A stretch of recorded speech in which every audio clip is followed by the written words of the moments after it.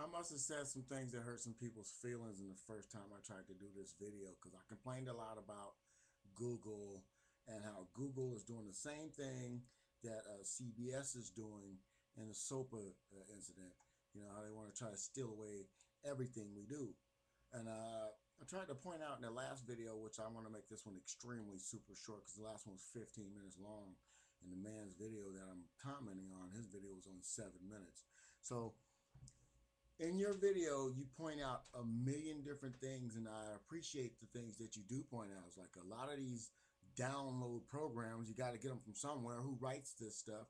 And um, you know, you find out that uh, CBS and CNET are one company, and that's pretty sad. That you know all the free downloads you get from CNET itself, you know, could be considered a you know copyright infringement or what have you. But my gripe is with Google. Google is doing the same thing that uh, CBS is. And they offer people partnerships. And they have Google TV, and they got all this Google stuff, and YouTube is connected to Google. Google owns YouTube. In order to be a partner on YouTube, you got to have a AdSense account, which is also a Google entity. And you have to have Google Checkout, which is also a Google entity. The thing is, each one of these Google accounts has to have a separate Google account. Makes sense? No. They keep you in this weird circle, and by the time you figure it out, you violated the rules and you don't get paid for your videos. But you, as an artist or, you know, a homemaker or somebody who wants to, to, to, show off their wares or whatever, you, as a regular individual, you are accused of violating your rules. You're violating the rules. You clicked on your own videos by watching your own videos. If you do a video, you can't watch your own video. If you watch your own video, it's considered clicking on your own video. If you look at your video, you're breaking the rules. You can't watch your own video or else you violated the rules and you don't get paid. But it's kind of weird how Google can stop me from being paid but allow other people to take my videos and put commercials on the side going up and down the sides of the videos. When I put my own videos on my own website, I was accused of click violations. My website was kicked out of the program and I cannot get paid. But I can still see my videos pop up all over the world on different websites in my name with Google ads on the side. Where's the logic in that? Where's the copyright infringement on my own material? I did a video where I ad-libbed out of my mind and I'm like, you know, making up this stuff out of my head, but then I got a violation. Someone said I stole their material.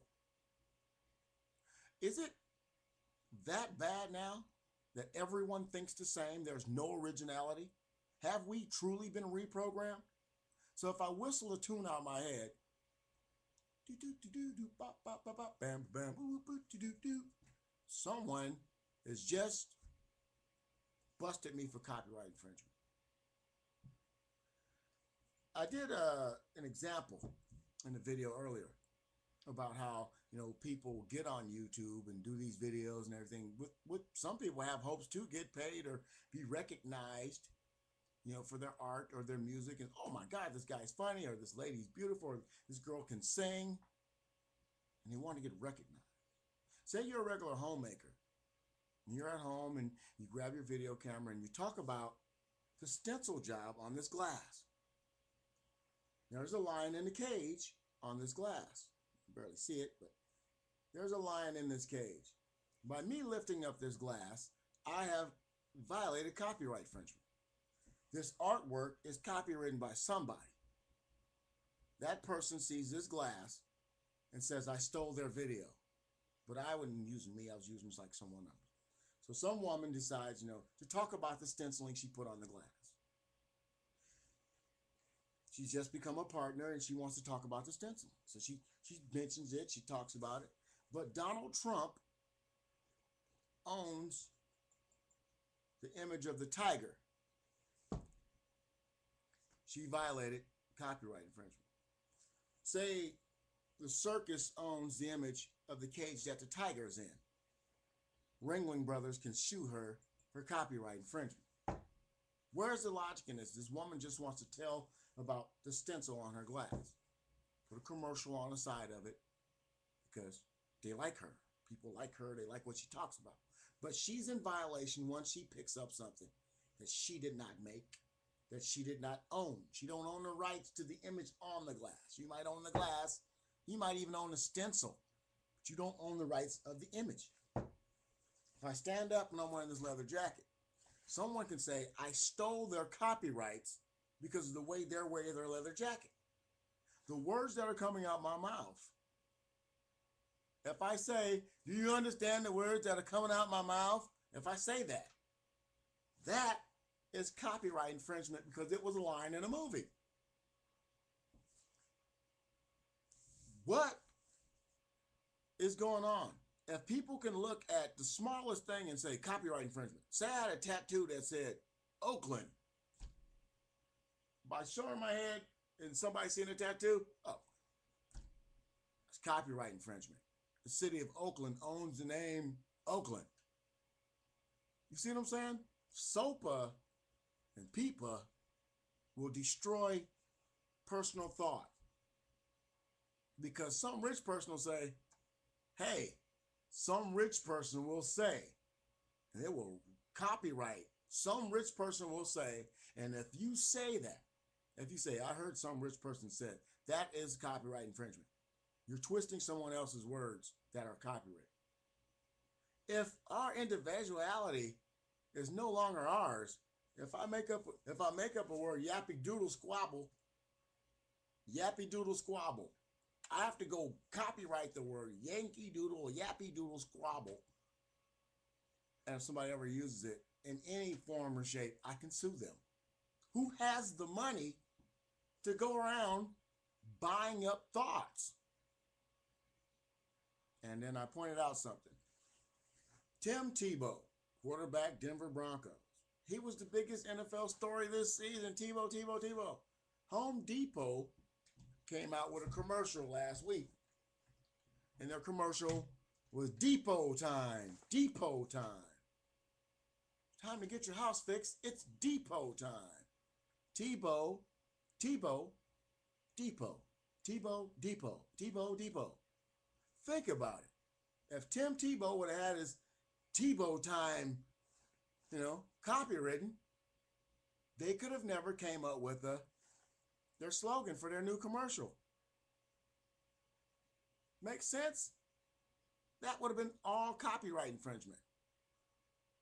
So, as a regular person, walking around the streets and doing what I do and doing videos, and everything I say comes out of my mind. And if I'm thinking of something, why am I doing videos when everything I do in the video is original to me, but someone's to say, I violated some copyright rules because some rich person bought the word rules. They bought the they, they bought curly black hair. They bought the image of curly black hair. So now I'm in the video with curly black hair. This is a copyright infringement.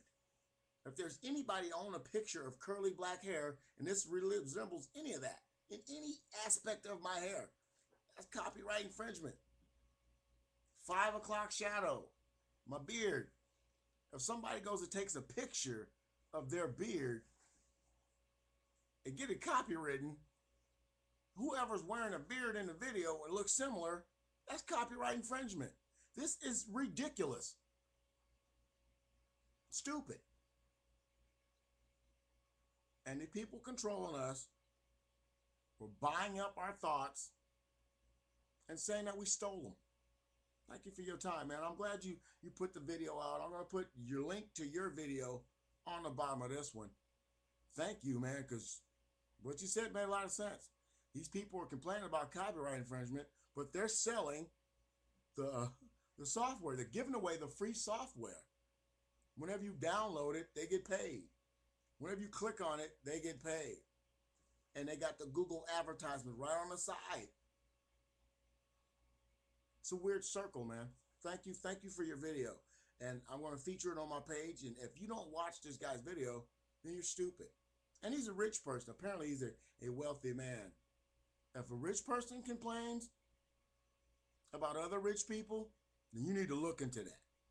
A person with complains, you need to look into that. Because us people without, us without, every word that comes out of you is owned by somebody else. It's ridiculous. You have a good one? Thank you. I would say bless you, but somebody owns that one